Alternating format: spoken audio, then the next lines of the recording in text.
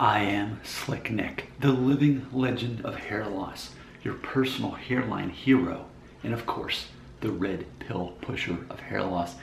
Let's go ahead and check out this comment. This this inspired me because this comment reveals more about you, the viewer, than it does me, the the creator uh, of these of this content here. So I made a video called Norwood 2 is what Kevin Mann thinks I am, and he's impressed. So our friend Resvi A left me this comment a week ago. He said, quote, bro, you have a widow's peak, not male pattern baldness. So Hyde responded, I will make a video response. And this is that video response. So let's break it down. Now I want to again start with the disclaimer. The way I see it is your response reveals more about you and probably your own insecurities about male pattern baldness than it does me. Now, as an almost 40 year old man, do I care about this? No. It's not part of my identity. It's not part of my confidence.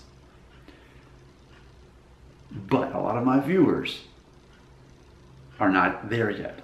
So therefore, they're so freaking out about going bald that they can see somebody else and basically think that they cast a darker shadow on it. But let's go ahead and break it down.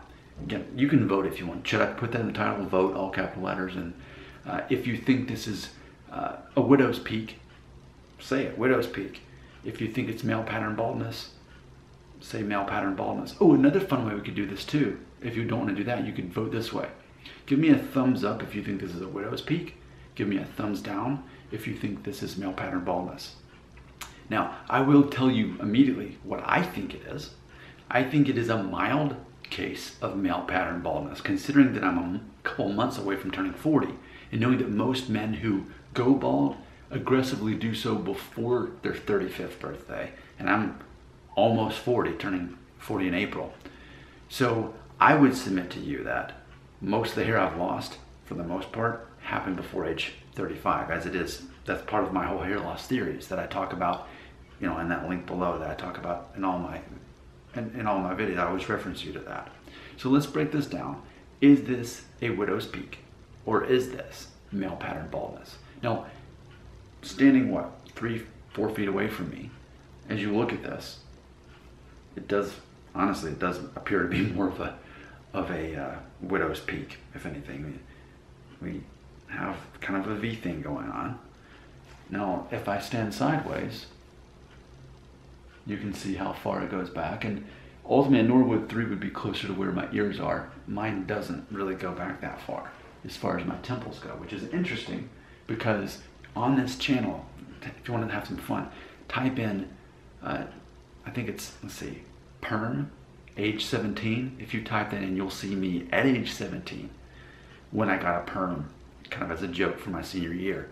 And it's a VHS tape that my sister was recording and it zooms in at the end on my temples. And you can see it almost looks like my temples are worse then than they are now which is really interesting. I'm not saying that they were but i'm saying you could tell my temples were receded or had gone back. So uh, i in my opinion uh, i don't really have a whole lot of temples uh, recession. Mine's more up in this area. And yes my hairline has lifted over the years. Uh, and I will tell you, and you can see it in the videos like the one I filmed just minutes ago, where I was fixing my hair for this video uh, using a blow dryer and a comb if you want to check that out while I'm wearing this shirt. Uh, then you can see in a different light where I had the light shining in and I, you can even kind of look at the back a little bit more. And there is some more thinning here in this portion and this hairstyle really helps with that. And a, a week ago, I got this hairstyle, uh, the shortest version of this pompadour undercut, which I got a one and a half guard on the sides and then it's an inch and a half on top. Well, that's the shortest version of this. And I wanted to experiment and see how would that look if I were to do this. What I learned from that is that I do need to use a comb and a blow dryer, which actually doesn't take, takes like 30 seconds to fix my hair. Whereas when it's longer, when it's say two inches or more on top, that's when I can sort of play with the wave that my hair already has. So uh, there's a lot of light in this room. There's one above me as well. So that would expose any extra thinning. I'm just trying to make it easy for you to be able to vote here on whether you think this is male pattern baldness or whether you think this is a widow's peak. So here, oh, here's my answer.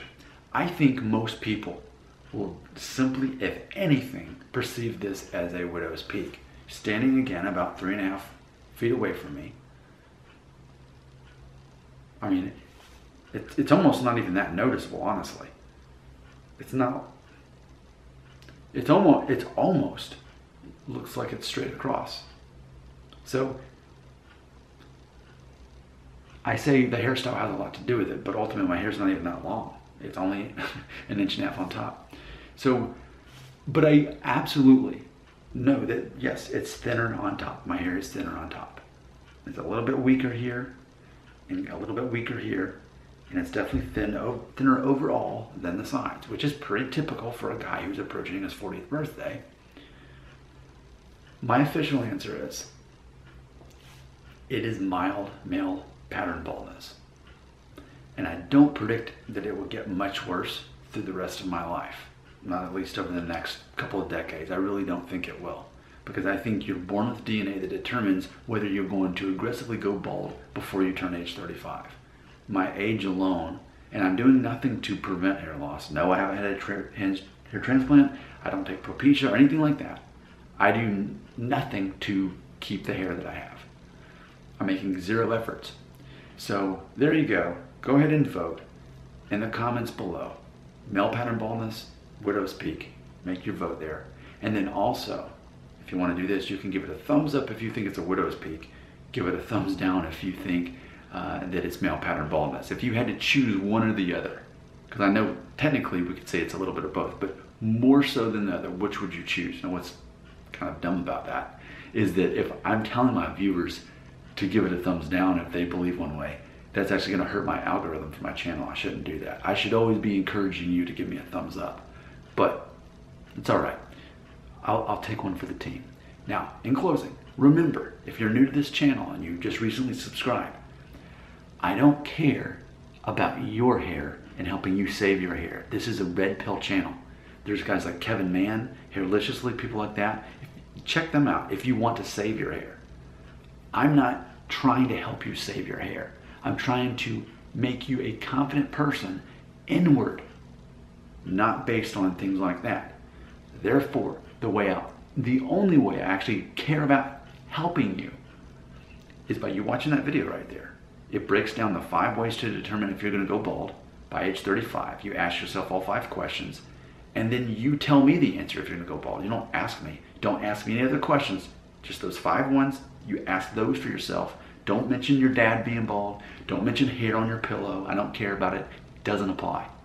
And then more importantly, the way I help you is in the same video. There's 10 ways that society finds you attractive or not. And hair is not on them. The only one that even goes back to your physical appearance is actually you being fit and healthy and active. That's the only thing that society actually judges you on as a male. Your comments and your vote belongs right here.